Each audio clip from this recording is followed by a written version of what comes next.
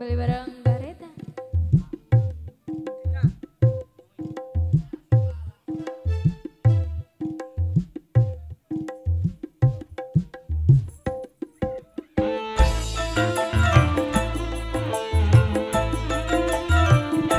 Yeah.